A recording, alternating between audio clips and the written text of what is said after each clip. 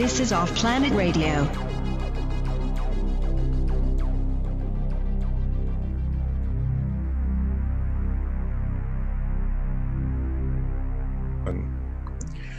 Hey, welcome once again to Off Planet Radio. I'm Randy Maugans. The website is offplanetradio.com. Jeez, it's been so long since I did this.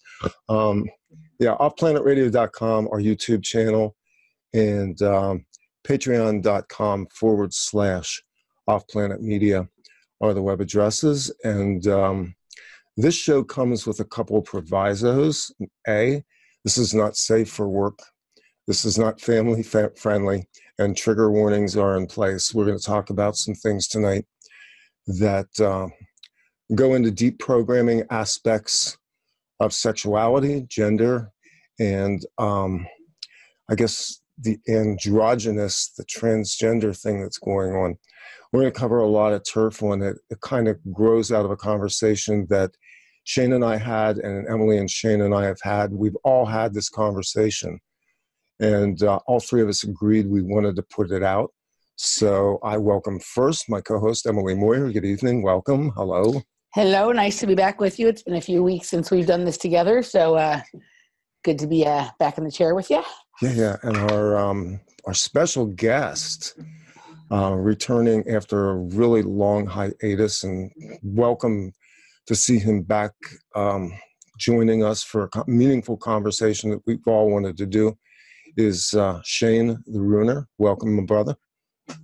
Thank you, everyone. Good to uh, good to be back. Good to be here with both of you. I love you both, and I'm looking forward to this.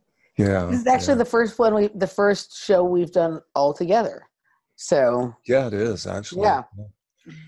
Yeah. So this conversation goes back a number of months. It actually goes back.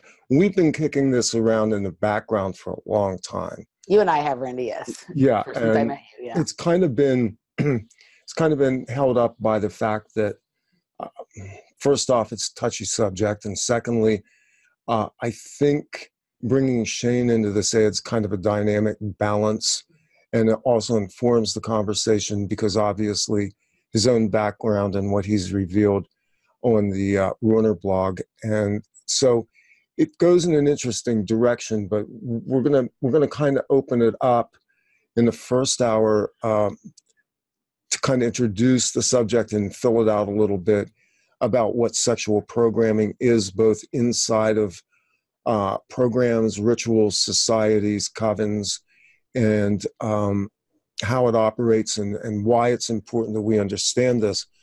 And it goes into the wider spectrum because it goes into group programming, societal programming, and things that are going on in the culture right now that are really important to understand and, and deal with in a very balanced way. So, as I said, this kind of initiated out of a conversation that Shane and I had, I guess, mm, what, back in December, Shane?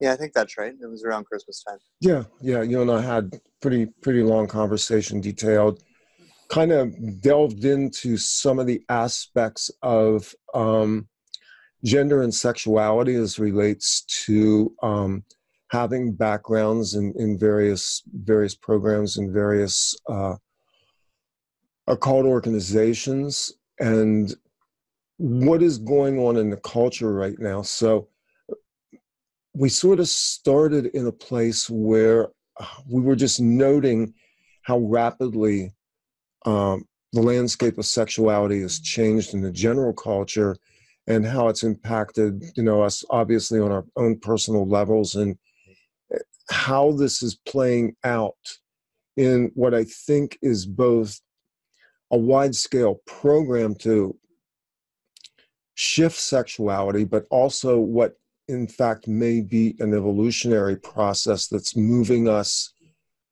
into the i guess the androgynous aspects of humanity which is goes into the the ritualistic occult influences. And uh, so maybe you can kind of uncork some of that. Well, I mean, there's a lot of cultural programming that goes into our sexuality. Obviously, you know, if you want to start with Disney, Yeah. if you want, if you want to move forward from there, there's all sorts of media that, um, you know, Sex and the City, um, many other, you know, type broadcasts have, have definitely influenced us in, in a great deal of ways, and um, not all of those ways are necessarily beneficial to our mental health or beneficial to our sexual health or beneficial to our spirituality. And um, you know some of that does come from media and a lot of that does come from you know secret societies and and, and cult programming and um, it all plays a facet into our choices and our feelings and the way we react to things on a subconscious level. And uh, I always thought that was important for us to talk about. Um, I know I have been, um, for lack of a better word, a victim of that because of what I went through as a child and what I witnessed um, growing up through those programs. You know, I did ri- witness a lot of rape. I did witness a lot of um, uh, deviance, and uh, our entire society is per- perverted which is a, a, word that we typically associate with sex, which isn't necessarily a sexual word. You know, the word basically means to be, you know, taken out of context and put into a different light. And so um, I, I feel it's an important subject for us to touch on. And it's also a subject that I feel like, you know, this community, this alternative media community that we, we exist in, that Off Planet Radio exists within, um, tends to shy away from. They they tend to avoid. They don't want to talk about it, and that's that's because Yeah. we're all really, you know, for lack of a better word, and I apologize for swearing, fucked up about it. And uh, I thought that you know, um, bringing us all together, you and I had a very good conversation about this. Uh, the three of us had a, a follow up, very good conversation about this. I just I, I feel like it's something that you know this community could could stand to hear and could benefit from so i'm i'm happy we're doing this I think it kind of uh, pivoted off of you and I talking, and I sort of went into some personal aspects of my own background and the fact that I had publicly come out as, let's just being, let's just say, being fluid sexually, and the revelation of that was done in stages, obviously, but it was also done purposefully. And I did that because I wanted to open the doors for exactly this type of conversation to occur. And that doesn't mean that people have to expose their own personal aspects. That's not everybody's path. In my case, um, I felt very strongly that because I had sort of lived in this cloistered identity for many decades and, and was dealing with that, that it might be useful for people to at least hear from somebody who, even late in life, is dealing with this, understanding that our culture is dealing with this. And so that kind of led us into one of my frustrations, which I think we all share, is that the alternative community is not dealing with these issues. Very few of them are. I'm aware right now that um, uh, our friend Mike Williams has done a show with Kara St. Louis on the subject. I have not heard it. Um, the show, the show wasn't wasn't on particularly on that subject. It was about something else, but Sure. in, in the middle of like about two thirds or halfway through the show, because of the top how nutrition relates to some of these uh, things that are going on in the the body. Right?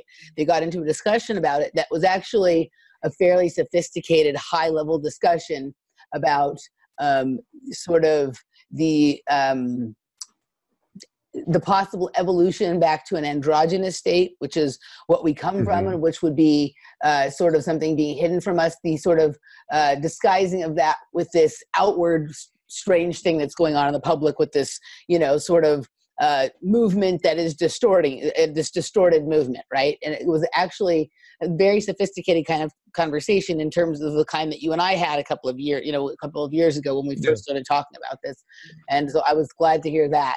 Um, but uh, yeah, other than that, in general, you know you don't hear too much of that uh, no in general the alternative yeah. media is a basically not dealt with uh, maybe just light blushes on the aspects of sexual programming as relates to mind control programs it has not dealt well and it is not balanced at all on how it represents um, sexuality across the spectrum, recognizing that you know the numbers are shift, shifting rapidly.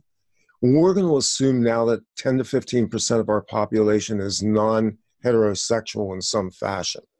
So those numbers are significant enough to me to indicate that we need to be both inclusive and incisive about discussing subjects of, that that deal with this in a more inclusive way instead of making the assumptions that we're dealing with a I guess, you know, a white straight audience all the time. And we know it's not white, but we also know it's not straight.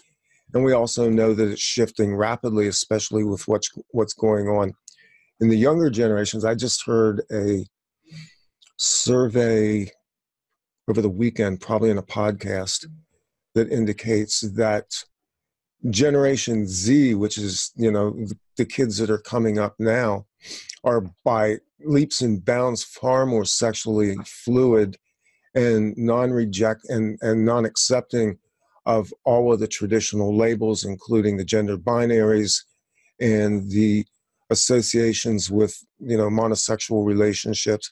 So the tide is turning in two generations very quickly. And I think we all have experienced and seen this. And so it, it's, it's kind of pointing us that w- we now get to deal with it on a very real level. And it's like you said, Emily, you know, let's have the sophisticated conversation about this. Let's be open and real.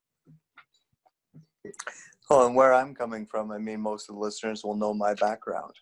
And so they will understand you know the rituals that i was involved in the things that i've witnessed um, the things that i've i've gone through as an individual human.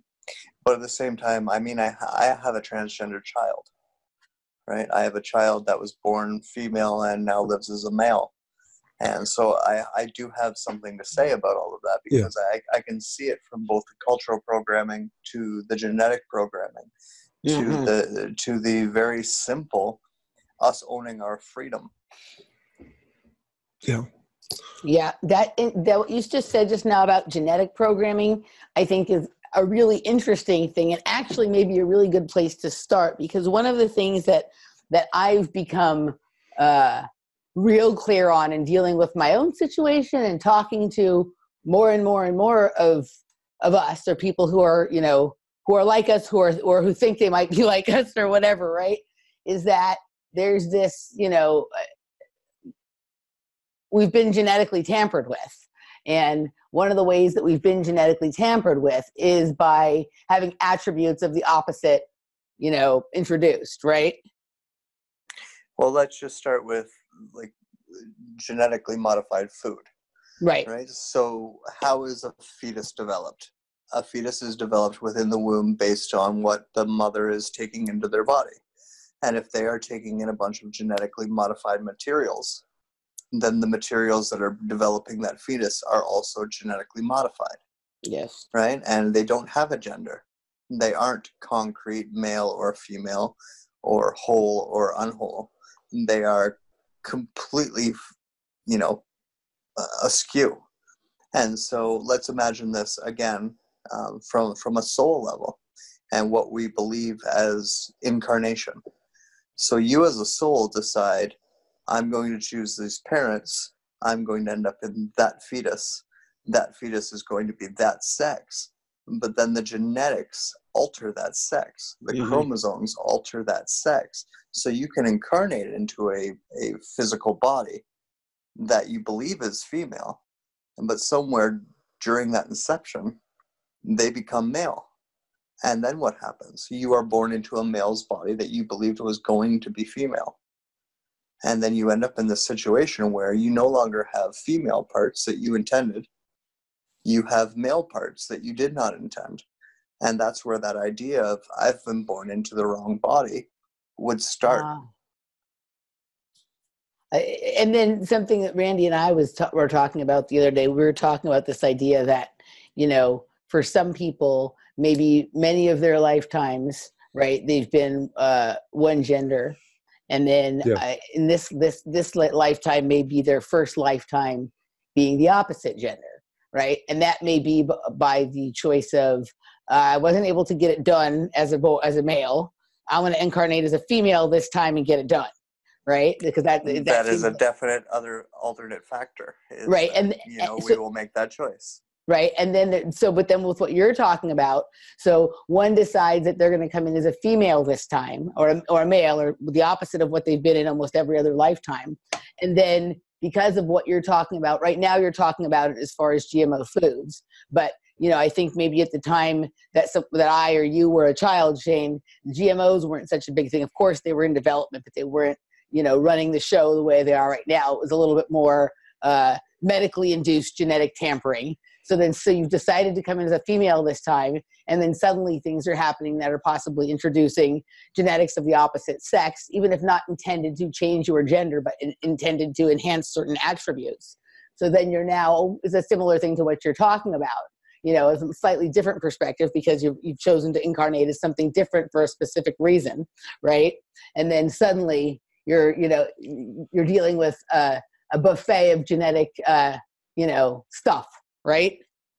Absolutely, and then you add everything that goes on within our society, within our culture, onto that, where there, there is, you know, this gray area, right? There is this this bisexuality. There is this um, hermaphroditic. There is this transgender um, component to society that we all have to recognize as playing on our subconscious and playing, and therefore translating into our conscious actions and attitudes towards things right? So say for myself you know i, I was born in 1980 i grew up through the 80s and yes genetically modified foods weren't such a big issue so probably i wasn't influenced influenced as a fetus.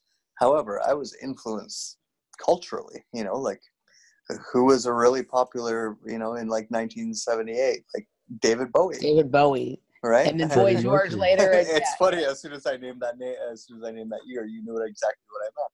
Yeah. David Bowie, right? Yeah. And that is an androgynous pop star that you know influenced all of us in some Mhm. way. Yep. Oh, Right, David and- Bowie was my role model growing. I mean, that was my that was my adolescence right there. Was was the emergence of David Bowie, Well, and and it was profound because he was the first performer in the rock and roll generation that broke that male heteronormative role model and just jumped out of the bottle. right, and another person he worked with very closely was Freddie Mercury. Mm-hmm. Yeah. Yeah. Yeah. Right? I love Freddie which is- Mercury. yeah. which is one of our first openly gay superstars. Well, I'm one of the very Yeah. first superstars to have a, to die of HIV too. Well, and Yeah. you also That had too. Die of AIDS. Sorry, die of AIDS, not HIV. Yeah. Yeah, you also had Marc Bolan of T Rex, who was very androgynous. Um, there was just this mo- movement that was coming, that you know, and I think he was he was on the cusp of it. Although he always denied that. In fact, he denied the whole thing, but then later said no. He thought he felt that was legitimate for his time, but that in the United States, the United States hated that the fact that David Bowie came out and said that he was bisexual. So Bowie played ping pong with that thing for decades, and then it eventually dropped off radar. But you know, even in his music, he did this. Uh, he did the music for a BBC TV series called uh, Buddha of the Buddha of Suburbia, that uh, was very interesting. It was Naveen Andrews who went on later on to play in Lost, Yeah. and um, And Sense8. and that Naveen Andrews' character plays a bisexual urban, suburban, um, basically proto hippie in the in the, in the seventies. So you know, there's this whole backdrop to it that's kind of in the culture. Absolutely, and if we look at like I brought up Disney earlier, what Disney Yeah. uh, effectively did was destroy the family unit, right? And and and destroy the idea of like if you look at any of the Disney princesses, you'll find out they either have a mother, they have a father, they don't have both, Yeah. right? Yeah. That is that is universal amongst you know the main characters, the princesses that we we look at within Disney. And so that destroys the family unit, first of all, but it also leaves us gender neutral. It also leaves us to a place where the, the mother can play both the mother and the father. How many of mm-hmm. us grew up in a single parent home where the mother or the father had to play both roles, Yeah. right? And of course that influenced us. And course that tur- of course that caused an effect on society. And of course that plays into our sexuality. The other character that jumps into my head, and this is kind of like a personal icon, is Peter Pan. I was just gonna say when he Always- said Disney programming, always- Peter Pan. Yeah. Always very ambiguous in terms of who what Peter Pan was, but And he was played Pan- by Cathy Rigby, the, the well, he gym. was played by Mary Martin too. I was Ah, gonna say, he, he's predominantly been played by females. Exactly. yeah. And here you have uh, Peter Pan, who basically comes in, abducts children, takes them off to Never Never Land. I mean, there's encoded in that, and this is not lost on me because as I've gone through deco- deprogramming, I've realized there's a whole lot of coding there that goes into even MK Ultra type programming. When you start to look at Peter Pan and, and how how that's been rolled out uh, so over so many generations and how ambiguous the character is and the plot line having to do with basically taking children and taking them into another world where their parents don't really exist. Well, we can even look at the most Yeah. recent example of media um, using MK Ultra, which is Stranger Things, Mhm. and, and the character of Eleven. Yep. You Yep. don't know. You don't know until they start calling her a her. That that is a her. Right. She looks like a boy. She has a, a, a buzz cut. You know, there is nothing about her that tells you it's a her until they start calling her a her. Right? So Yeah. when you're when you first start watching that series, you're like, okay, this may be a little boy, this may be a little girl. I don't know. But then they start talking about being a little girl, and then that's when you get it right? But I, I'm pretty sure that even within that series, there's a couple times where they're like, oh, "I'm not sure if it's a boy or a girl," right? And and that's because of how or what? Because the way her hair is cut, it's in a buzz cut, which is traditionally a boy's haircut, right? It's because of her reactions, and she's not speaking, so therefore they don't hear the voice, they don't hear the expression, so they don't know is this a boy or a girl right so they, even that in a very simple you know cultural programming type way through media it tells you that that that line is a little bit blurred today. And um, there's you know a lot of there's a lot of reasons behind that that that go into cultural programming and goes into you know what all of these secret societies have been trying to achieve. And but at the same time it plays into our benefit because we as individuals we don't necessarily need these denominations. You know i live in a country where um you know it's it's been pretty well publicized that our gender um denominations or our, uh, the the gender roles are actually enforced by law you know i think we have like 52 to 56 of them at this point in time Yep. and if I speak out against any of them, that's considered hate speech within the country I live in, which is supposed to be one of the most liberal countries in the world, you know. But at the same time, if I were to say, "Hey, sir, how are you?" and that person identified themselves as female, I just committed hate speech. Where the only reason I've done that is they have long hair, they have breasts, they have the genetics of a female and therefore, when I looked at them, I thought, this is a woman. However, if they want to view themselves as a man, I've actually just broken the law. And there's a there is a you know a, a definite psychological impact of knowing that, knowing that I have to be careful if I call her a him or him a her, I'm actually committing hate speech. Yeah, we're kind of in this place now where we almost have to be very neutral in how we address people. Um, we're getting to the point where a new convention entered, entered into the culture is what are your pronouns? That's that's something that's so new and so recent, but I've seen it in some of the groups I've been in where it is now very standard for somebody to introduce themselves by name and tell you their pronouns.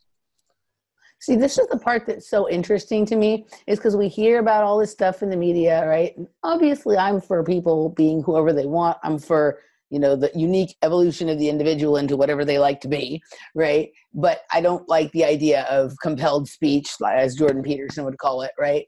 I don't like the idea of uh, you know law enforcing things with you know with law or even just with social persecution if you get it wrong. But what's funny is is i live here in los angeles. I'm part of like very underground music scene right? I never come across this. I've never had the pronoun conversation come up ever right? Eh, so so sometimes i think that like something much more is being made of this in the media than actually exists in real life because i have i mean like i i, I haven't I, I just haven't come across it and i have a very wide cross section of weirdos that i know and hang out with so you'd think that this would have come up by now but it hasn't. So are you is this something i mean i realize shane that your child is you know on the fluid kind of you know, or is transgendered. But is this something other than in your immediate situation with your child that you're coming up against a lot? Oh, absolutely. You know, huh. like I, I have, I have exactly the same outlook as you do, where you know people can be whoever the, whoever they want to be, right? If they want to be male, if they want to be female, if they want to be him, her, or they, then that's fine. The only per- time I've ever personally bumped into a problem is where the the gender neutral thing comes in mm-hmm. because the the pronoun for that is they, which translate down into it. And I personally have a ah. problem with that. I don't want to ah. call someone an it. Yeah. Right. And so therefore, I, I'm looking for that he or she because the other alternative is it, and I don't right. want the it. You know, and they may want the it, and in which case I'm yeah. happy to give them the it, right? but at the same time, my own, you know, my own heart and soul says that calling them an it demoralizes them. It makes them less than human. And I don't want that. If they don't view it that way, then I'm all for it. Right. And so this all comes back to my own personal outlook on all of this is like people should be people. People can be whatever the f- hell they want to be. Yeah. You know? And if they want to be male, if they want to be female, I personally do not care what parts they were born with. I personally do not care how long their hair is, whether they have breasts or whether they don't, whether they have a penis or a vagina, I really don't care. That individual can decide who and what they want to be. And I'm okay with that and I'm willing to accept that. But at the same time, don't persecute me if I make an assumption. Yeah. Yeah, well, it's, it, that, it's basically criminalizing assumption. Yeah. Well, you know, this is, I'll kind of play devil's advocate a little bit here because I think it's extremism that's mirrored in the media and what's reflected in the media and even in social media. That there's an extreme edge to this that's insisting on the use of pronouns other than the traditional binary designations. You know, using using they, them, uh, z, them, all these other made up words, contrivances. We'll call it that. Yeah. So if you remember back in the period of the civil rights movement, at some point in time, things flipped incredibly. They had to because of the fact that we were pushing the boundaries of societal change at that time. So there was a hypersensitivity to how Black people were being addressed. They did not want to be called Negroes anymore. And some wanted to be called Blacks and Afro American came into the lexicon, however stilted that is. But we had what was basically a redefinition of racial identities in that time that was very conflicting, very confusing. It obviously enraged a lot of people, especially the older generations. And I mean, I grew up around people who thought colored people were fine as long as they were cleaning their toilets or shining their shoes. Literally, you know, I, my grandparents were very elitist that way. So we're now in another redefinition cycle where on the front edge of this we have very radical, very opinionated, uh, verbalizing activists, social justice warriors that are pushing this new gender redefinition into the lexicon. And in the course of that, and, and I have talked to people in the transgender community who have told me this is a work in progress. We still don't really know how this is going to work because it's so difficult to transact in everyday life. People who are active actively and Shane, I'm sure you know this, you know, with what your which what your child's going through, that transacting this in real life is very difficult given the number of people who still don't understand the issues or frankly don't even care. Well, let me tell you a story about that. My uh, my kids grew up in a very small town, you know, and my my transgender child was literally the first transgender person to ever come out in their high school. And how did the high school react? They held a fucking assembly where they singled my child out and they said, This is a transgender person. And you will be punished if you talk negatively about transgender people. And how did the kids react? They would go to the edge of my kid's desk and they would talk amongst themselves about how the gross they thought it was for a girl to live as a boy or a boy to live as a girl. And they could get away with that because they weren't actually saying it to my child right? So that that just shows you how society is actually dealing with this. It's not in a healthy way. They are singling those people out. They're making them feel like aliens. They're making them feel like lower forms of life. And of course after being made to feel that way they're going to act out publicly in some sort of way by creating a movement by you know um, ensuring awareness by you know protesting taking a stand in any way they can to say look people are people and i just want to be a person. Can you please leave me alone? Yeah. And then there's all the other issues that go into it as well. And you know this is why i've sat down and talked to you know transgender non-binary people is because i wanted to know what their issues were. And i mean I don't know what it's like in Canada. Here in the United States, it's patchwork. But for the most part, people who are changing identities have difficulties with their documentation, with their legal status.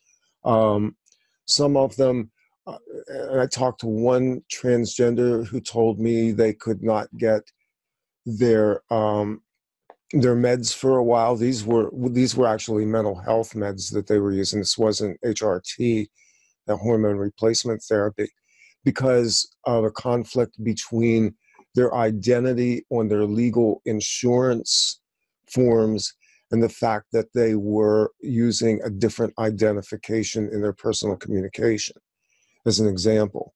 So, eh, this is how complex this all is because it goes into you know the legal side of it the societal side of it the aspects of identity that we take for granted as you know what you would say cisgender people. But in fact there are a host of issues that go into this that the culture itself is still struggling to deal with.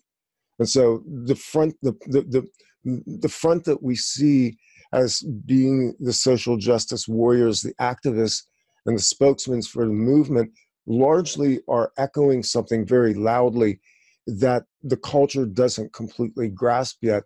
And not only that, but there's such a, a huge load of contempt and prejudice that's that's placed on this. Well, and um, this anecdote should kind of put it into perspective for the listeners. Is um, what I was told by a doctor at my local hospital when when dealing with my own child in this issue was homosexual people people who are gay and just like the other gender and want to be, you know, a woman wants to be with a woman, a man wants to be with a man. They fought very hard to make sure that this was not a mental health issue. Right? Mm-hmm. They fought very hard to to to ensure that. Yeah. Whereas with trans people, they don't want to pick up that fight because at least in Canada, where we have healthcare, right, a trans person can get their medication that allows them to make that transition Right. based on it being a dysmo- dysmorphia. Right? It, it is a mental health. It is a health issue, and therefore the healthcare will provide the medication for them because they need it. Whereas for a homosexual person, they don't want that because they don't want that stigma of being mentally ill. For trans people, they're willing to maintain the stigma of being mentally ill because it allows them to acquire health care and therefore they get their pills for free. They get the, the the testosterone or the estrogen for free. They get the operation for a discounted price. They get all of that at a discount or for free based on the fact that it's their mental health issue.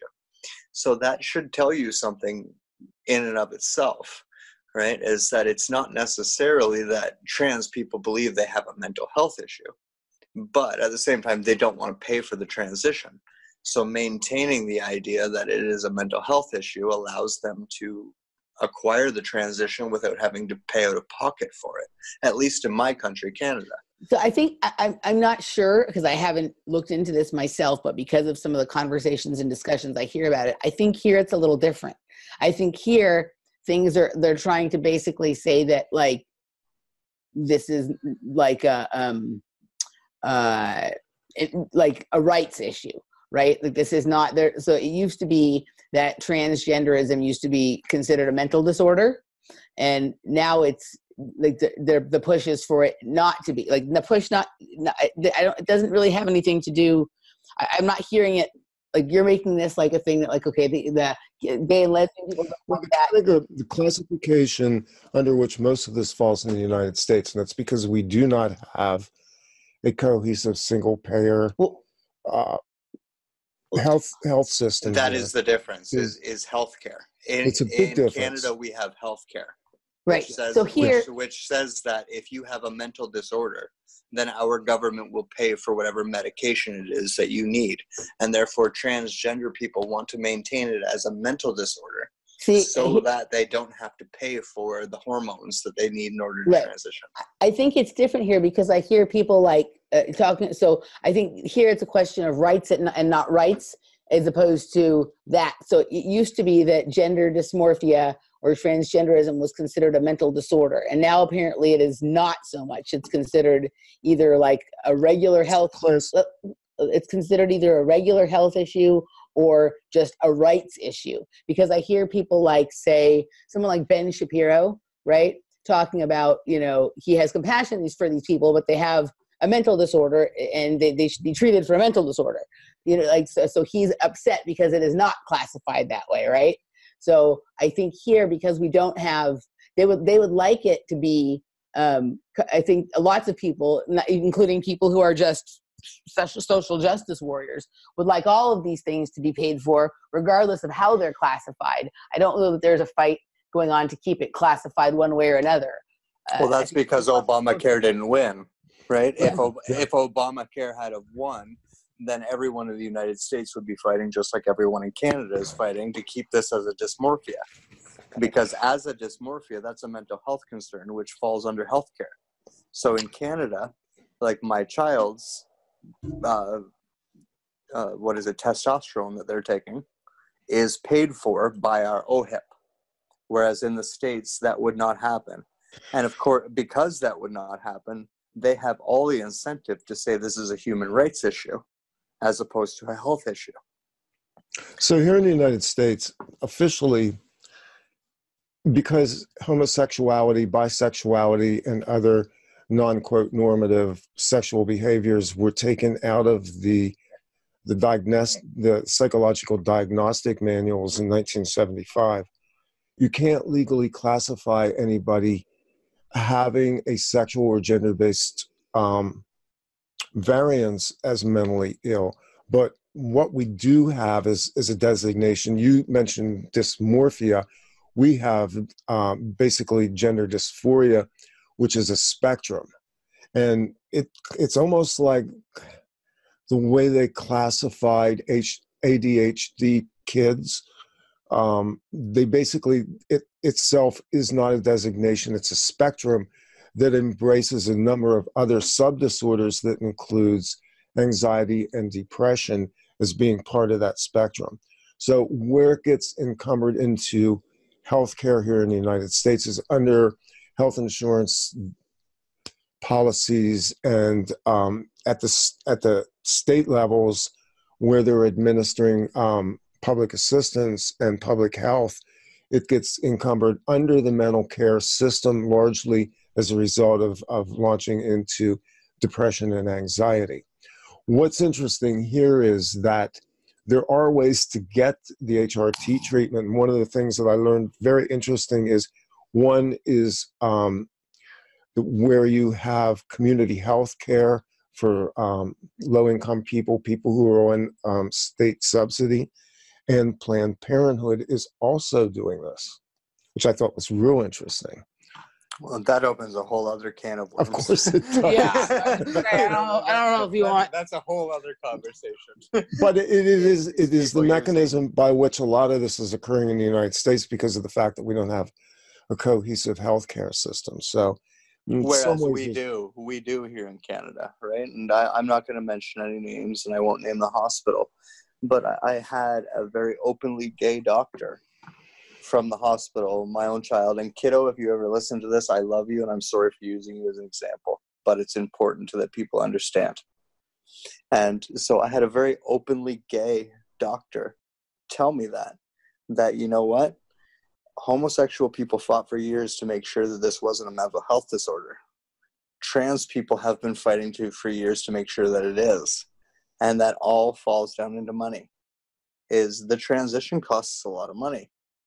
You know, the operation, like um not that long ago I hung out with a trans woman um pre-op, so she hasn't actually had her operation yet. She was signed up to have her, her operation actually this month and she negated it and this will come into the conversation later later but she she did decided not to take it yet because she wasn't in a spiritually proper place to go through the transition anyways going back to that that operation was about $3000 out of pocket and was going to cost her nothing Mhm. because she had convinced her doctors that she had body dysmorphia and the only thing that was preventing her from suicide was having this operation.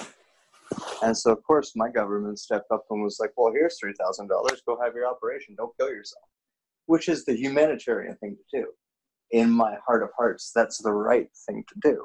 However, you know, if if being a homosexual is not a mental health issue, you're not mentally broken, and that's why you feel that way, right? Because you're not. It's a you know, it's a it's it's who you are, right? Being trans is also not you're mentally broken, and that's why you feel that way. That's who you are, and you want to be who you are, and you should have the human rights to be who you are. However, there's a price tag on that and someone has to pick up that price tag. And that's where the rest of it comes in, whether or not you're mentally ill because of being transgender or whether you're just want to be tr- you just want to trans you just want to become transsexual. You want to become the opposite sex because that's what you identify with you know? This is where the word choice always comes in. People say it's a choice. Well, why can't it just be being who you are? Right. Yeah, there's, I know, this really goes into some interesting quandaries. I'll just say this that doctor that you're talking about is likely somebody that grew up in that first generation after Stonewall in 69. And the fact of the matter is, my life experience was if you grew up in that generation, you understood that through the 1980s at least, even after they revised the, the diagnostic manuals and designations in the United States, homosexual people were treated as being mentally ill. And I can tell you, I went through therapy in my 20s and didn't bring it up that I was bisexual because I understood how that would get me labeled. So, in a sense, what they fought for at that time was to remove that diagnosis as a mental illness and the perception of how a mental illness was viewed let's just say from the 1960s through to the 1980s in the Western world has changed remarkably as well. And there's a, I guess, a whole spectrum that goes into ableism where we now understand that people have difficulties with aspects of their lives, but that does not necessarily make them disabled or what we classically called mentally ill. You know, we're defining that, we're redefining that kind of on the fly now. We understand the differences between functional and non functional mental disorders and mental disorders that are organic and mental disorders that are a result of uh, trauma or other external effects as well. So when we grant that somebody was born innate with a sexual identity, with a gender identity, then we remove that from the mental illness. But the effects of that, which are largely the result of the culture itself, still coming to terms with these identifications, does in fact impact on the mental health of the people. So, you know, from that standpoint, I kind of see this as a two edged sword. I appreciate what that doctor was stating because he's correct. Nobody wanted that designation who was who was homosexual in that time. And I think what we're looking at now is a generation that's very cleverly found a way to kind of work the system, understanding that we're in different times and that we also have a much more flexible um, system of healthcare that's being funded socially, especially in Canada, and which I, you know, even here in the United States, let's face it, on some levels, we have socialized medicine. You just have to be extremely uh, poor to get it. Emily, please. um, yeah, no, I, the healthcare issue, I mean, this whole thing, the way it is all wrapped in with healthcare is part of why I think there's, you know, so much mm, outrage on one side about this. The, you know what I mean? Like it is a messy space when you're dealing with the question of human rights or healthcare or mental, mental illness or whatnot. This idea, kind of what you, you know, what you were talking about, this person that you know, that obviously from what it sounds like this person wasn't going to kill themselves but saw that it's faster way to get what they want by saying that you know and then there's sure you know so there's people who are playing up the mental illness aspect of it and then there are others who you know for whatever reason in their communities or in their families they can't be who they are and so they become very depressed or they become suicidal for you know they develop a mental illness that isn't really the same thing as whatever their sexual or gender issue is, but it becomes attached to it in a way that you can't really separate because of what they're experiencing. So you have sort of both sides of it. It's a really complicated issue. Um, and then, you know, you know, what I always go back to is this we live in this really weird, gross world where people feel the need to like identify in groups or identify as something that somebody else can easily understand and be comfortable with, which doesn't really leave a whole lot, of room for people to be their own unique individual self. And that what I that is what I think is really the answer to all of this. I mean, as long as we're trying to look at this as a rights issue or a health issue or whatever, all that kind of stuff, we're missing the point, and that is that you know, evolution of the individual, right? In my opinion. Well, I'll start with two comments on that. One is just about mental health in general, mm-hmm. right? Um, I live in a country where it literally takes you trying to commit suicide multiple times before you get any type of help.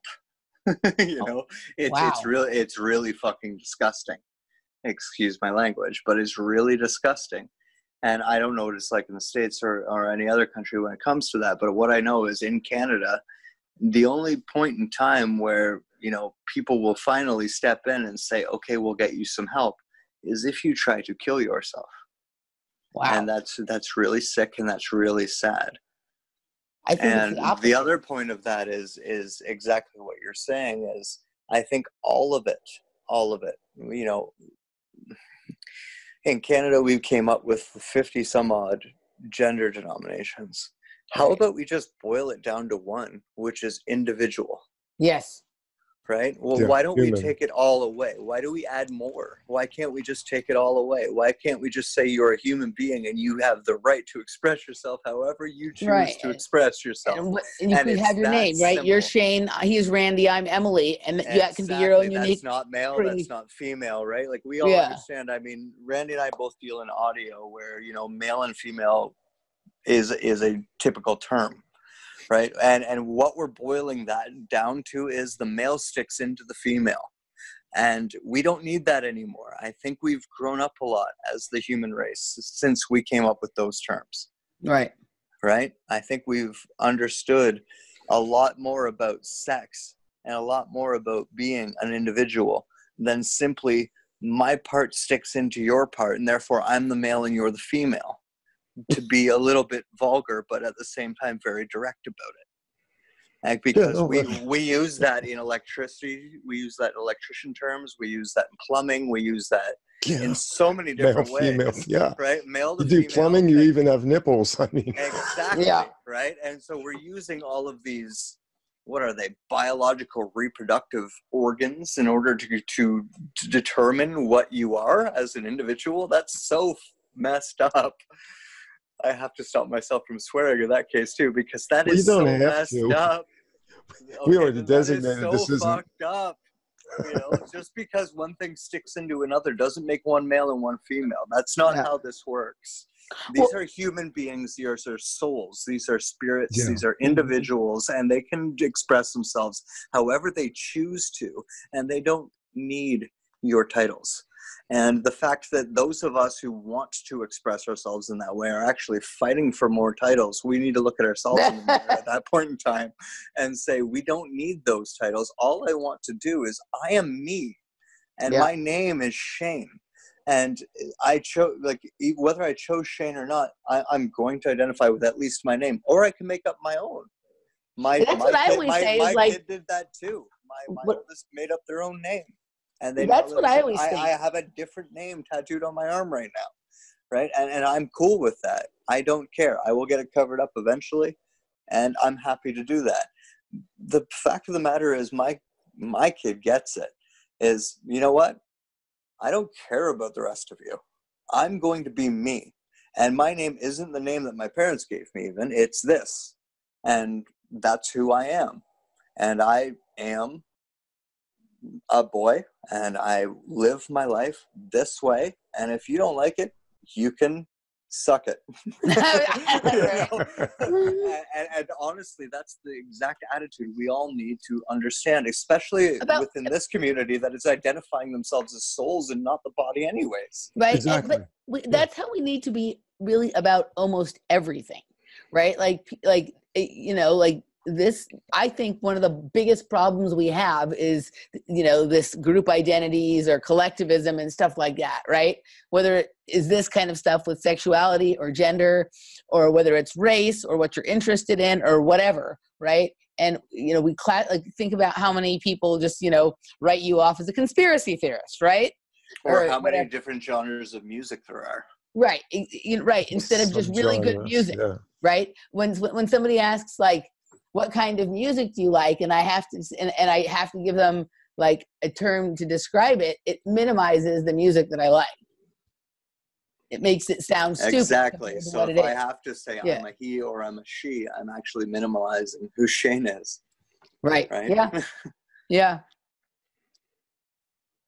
And this goes into the spectrum. You know, it, I'm not going to use the rainbow, but I'll use the spectrum here to point out that you know we just, gosh, we just did that the rainbow unicorn thing. That um, just to point, you know, that within the polar binaries, the male and the female. And I think this is where all these designations come from. And I think it's ridiculous to try to name them Mhm. we we function as human beings in a mixture of all of these things from the macho jock male to the very femi sophisticated urbane lady femboy we function in a spectrum that incorporates aspects of the male and the female because effectively you know it's one chromosome you you get the XY, you're going to be a male. You got a double X, you're a female. But within that, that does not define the gender. And when we were kind of coming into this in the beginning, and Emily was Emily and I talked about this, I think last week, when I said I had had a very amazing dream about two weeks ago, where it was kind of shown to me that I had never really incarnated as a male in this form. And it was part of the reason why I was struggling with things for so long. And it was, you know, it's a weird, it's a weird thing. It's a weird concept to think of.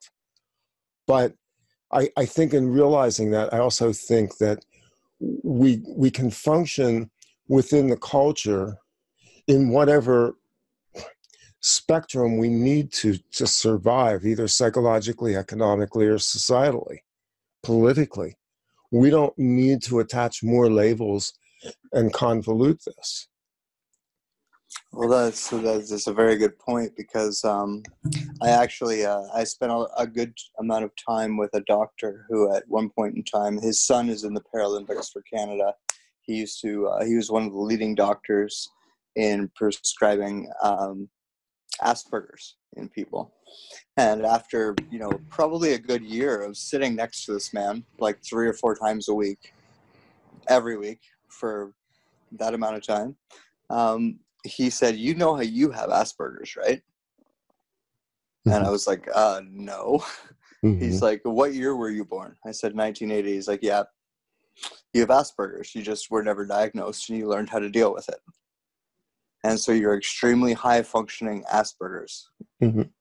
individual and i you know I, I took it seriously because he i respected him he knows what he's talking about right? And I, and I looked into it i did my own research and i realized he's not necessarily wrong because you know I, i've had aspects of my life that have forced me in order to act the way that i do despite the way i may feel in that situation right? And we live in a society now that that doesn't happen. You know you are actually given the freedom to feel how you feel. However you're not necessarily given the support to feel how you feel. So you're in this you know dichotomy of just feeling crazy because you're told on one sense you can be whatever you want to be. On the other sense you're told except for that. And you know that that that causes a schism in the mind where where people are kind of becoming mentally ill in various ways because you know on one sense you're told do what you want on the other sense you're, you're told but these are the boundaries and eh, how do you react to that right? You react exactly like this does like we have in society today. What we're seeing right now the the premise of this conversation is this not quite sure where we fit into because we don't necessarily fit into these very old parameters that were set these very old boxes right? And you know for someone like me very much like you randy i've always been very balanced between my male and female side right and in high school that translated into be called, being called curly fag mm-hmm. you know because i had curly hair and i got along with girls so therefore yeah. i was gay yeah you know right and, mm-hmm. and you know and and that's that's that's where we grew up and that has now evolved into a place where all of us are now making the rules so we're saying that that's wrong but no one's actually saying why that's wrong and what is the reason that that is wrong it's because it boils down to exactly what we were saying earlier emily is emily randy is randy shane is shane there doesn't need to be a Mr., a Mrs., or a they in front of that. It right. can just be Emily, Shannon, Randy. And you know, I get up some days and I feel different about myself and my expression of myself. It's not radical, but it's not unknown to me to put on eye makeup or paint my fingernails or wear clothing that you would call a little bit more general gender gender neutral I can say that. And I will say likewise and continue. You know, if there was a time, you know, back in the back in the late seventies when I went out to clubs and quite frankly, you know, I could have worn a dress. I mean, because that was the cultural norm at that period of time in history. And would I have The done it? I last did. live, the last live show I played, I wore a dress. Yeah, yeah. So I- my my experience is like slightly different in that like I've always really enjoyed being like a girl and you know and looking like a girl like I've never felt the desire to dress as a man or anything like that but I from the very time I was very young was very good at things that boys are generally good at right and so I was you know I was a gymnast which isn't necessarily thought of as a boy sport but makes you strong like a boy and so I was then good at the other sports. I would, you know, beat the boys at some of the games and and things like that, which made me extremely unpopular with both the boys and the girls. Um, you know, and then uh, you know, I have a deep voice, and uh, my mind just in some ways thinks about things and compartmentalizes things. You know, in ways that maybe you're a little bit more masculine. I was raised by my father. My mom left when I was young. So I had a lot of masculine energy going on, even though I've always very much liked being a girl. I haven't ever felt, you know, like I wanted to dress like a boy or anything like that. but you have But- a male. You have a you have a masculine energy. Yeah. right? and it's not overt. And you see, here's the thing. This is why I think we have to look at this as an evolutionary process. Is that the second wave feminist Simone de Beauvoir said, "A woman is not born; a woman is created." Now, you could say the same thing about a man. A man is not, you're not born a man, you're created. You are basically societally entrained into being what that image of a man or a male is at any given time. This is the this is the whole Gillette uh, ad that ran on Super Bowl thing of toxic masculinity again. You know, are men are males ta- toxic? Well, hell, everybody's toxic at some level. But the point is, we're at a place in the culture where we're moving from these defined boundaries into a place where hopefully we would get to be sensitive enough to each other that we no longer needed all this artificiality where somebody who's born as a female expresses for the most part as a female but has certain masculine energies whatever their preferences whatever their expression however they expose themselves to the cultural milieu basically you accept that on the level that oh that's them. And you know i i find that attractive. I'm neutral to it. I'm okay with it. But it's not a judgmental thing anymore. Humans express as humans. I might wear a green paisley shirt and you might say that looks hideous. Um And he would be right. No, just kidding. kidding. I actually have a green paisley shirt Of course I do. It's my favorite color. But the but the point is that I do see this as something that's trying to push us away from all of these designations and into a culture where the individual actually is able to express without being condemned, judged, placed into mental health care systems, and having to go through uh, contortions in order to be accepted as the person they wish to appear to be. And so the, the forms right now, the gender forms, all of that are, are, are a mess. This whole thing's a gigantic mess on, on one level. It's a mess for the people that are going through it. It's a mess for the people that are experiencing on the societal level. And, and then there's also, and this is something, and this is something that I, you know, thought long and hard about, and took me a long time to this come this this to come to this space. This is also hard for the people who don't understand this or Yeah. who don't approve of this, right? Like, and one of the things we also have to get through as a, to as a society, or people who are deciding that they want to live as unique individuals, we have to come to a space where we're going to be ourselves and we're okay with it if other people don't get it don't understand and don't approve we have to become on a certain level you know there's always going to be people like that and this browbeating that's been going on trying to get people to accept accept you know something that they don't is a waste in my opinion you know a waste of time but also not um, that they're where they are in their journey. Maybe where they are, they're maybe where they're at is a sad spot.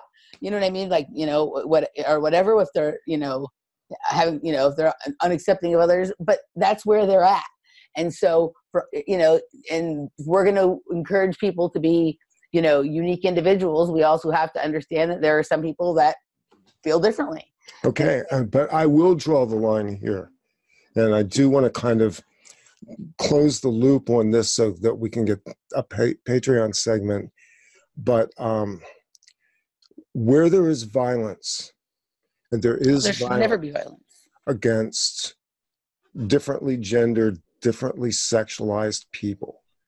Um, it is unacceptable to me Absolutely. as somebody who was bullied and taunted and beat up over my perceived sexuality as a kid that generation after generation, there's an entitled class of people that feel they have the right to bully and negate the identities of other people.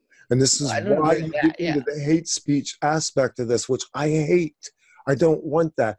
I don't want to legislate speech, but I don't want to enable violence against minority people either. Well, violent, but I mean, violence is different than speech. I don't see speech as violence. People are going to say what they're going to say. I think violence against other people for any reason other than self-defense is absolutely unacceptable, no matter what the circumstances are. Right. Well, you got to look at what the definition of violence is, mm-hmm. which is mm-hmm. violating someone. That's right. right. So you can violate someone with words. With words, yeah. Right, yeah. and therefore you can commit violence with words.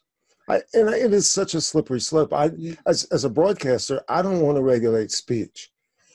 On the other side of it, I'm in the social media realm where I see the extreme edge of this and I see the aggressions that are launched against people who are perceived as different or people who are part of an underclass. Um, and it, some of it's very subtle. And, and, and again, I don't, legislating it probably isn't the answer. The answer is to make it intolerable, just as racism is intolerable, just as in, indignance against treating another human badly is intolerable. I, I, I agree with that, but I, at the I, same time, how do we ever get to that point without holding the people who do it wrong, do wrong accountable yeah. for doing I, wrong, right? For, and for, therefore, that's where hate speech laws come in: is they stop Nazis from being Nazis. Right. Yeah, I, mean, I, I, guess for me, like you know, when I find people who have aberrant ideas or behavior, I ignore them. I pay them no attention, right? And that's kind of how, like, you know, a lot of people who are out there doing ridiculous things and saying ridiculous things, they, you know, it, it, they're doing it partly for attention. So I don't. Where you know, would they be without that audience? If let's take the audience away, you're right. Yeah. So if, yeah. if people just start sort of, you know, ignoring them or walking away from them to me the you know being shunned or being cold shouldered right is a more effective way than trying to browbeat them into agreeing with you or per, or you know try and punish them for their their thoughts or their their words or whatever. To me just not giving them the attention that they're seeking is is the answer. Well it's it's no different than like you know a group of kids playing dungeons and dragons. If none of us are paying attention to their Dungeons and Dragons game, then you know if we're not posting it on the news, if we're not putting it in our newspaper, if we're not punching them on national television, right? um, no one's going to care that those kids are playing Dungeons and Dragons in their basement. And you know we could we could denominate or um, disempower any party to that by just not giving them any attention just like yeah. we wouldn't pay any attention to a group of kids playing Dungeons and Dragons in their basement. We can view the Nazi Party exactly the same way if that's the way we choose. Like, you know, the most, the majority of the world does not agree with you. And you know what? None of us, instead of fighting you and saying, "Oh, that's yeah. so wrong," I need to protest. Uh, yeah. How about how about we just you know laugh at it? Yes. Collectively. Yes laugh at it or ignore them you know like if it, you, you know whatever your position on it is aberrant behavior should you know don't encourage it and you know just like when you have a naughty kid right sometimes the more attention you give the kid the more they act up right? As soon as you stop paying attention to them they usually stop. Well so what's the first thing they teach you to do in order to fight a demon is turn your back on it. Yeah. Yeah. Right? Don't give it any power don't engage know? it yeah. Well, I think we I think we barely scratched the surface, and yet at the same time probably gave this a much more thorough treatment than it gets a lot of the times. And uh, so we want to kind of turn the corner here, and uh, we're going to do a, a Patreon seg- segment as well. And uh, so those those of you hearing this on the public side of the broadcast, um, Shane, tell people a little bit about what you're doing, what you're involved with, and whatever you want to let people know. Oh, damn. Um, I, I, I, have not done anything for a very long time. Um, That's actually this, an accomplishment. this, um, in terms of uh, this realm. Um, on Wednesday, I'm going to record a video, and I'm probably going to post that on Patreon and um, that that that's it. Um, Most people be, don't know that you have a Patreon. So yeah, so well, what, they'll find it if they want to find it. I, am not even gonna I'm not even gonna plug it. Um, hopefully, it'll be posted Thursday. And then on Thursday, I'm going to record something that I'm going to put up on my YouTube channel. So um, that that's my plan. Um, I've I've been going through, you know, Shane world. Um, I haven't been able to pay any attention to much of this and uh, now I, I, don't have to deal with all of that so much so anymore so I, am in a place where i can i can finally focus on what my actual you know desire to help humanity you know falls under which is um, i'll be i'll be talking to people more so um, yeah you, will you'll, you'll hear more from me soon. I guess I'll leave it like. I and I still recommend that people go back and even though it's you know several years old at this point, check out Shane's blog, the Ruiner blog. Uh, if you have, you know, if you're a certain kind of person with certain uh, with uncertainties about certain things that you're trying to, you know, figure out, there's stuff there for you. Yeah. There are there there, there is yeah. information there that will provide the strings that you need to pull on if you're meant to pull on them. So I highly recommend that people who are questioning go over to the Ruiner blog and check it out. And for the rest of you, I'm sure you'll be entertained. Yeah, yes. So. For people who this doesn't mean anything to, you'll at least find it entertaining for sure. Absolutely. All right, guys, we'll see you on the other side uh, over on Patreon. And yeah, that's it. We're out. Bye, everybody. Bye. Bye. This is Off Planet Radio.